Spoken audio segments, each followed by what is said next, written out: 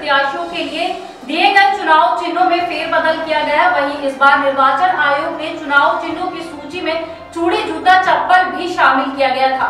लेकिन दमोह ज़िले के चार विधानसभाओं में लड़ने वाले किसी भी प्रत्याशी ने इन चुनाव चिन्हों में से किसी को भी नहीं चुना।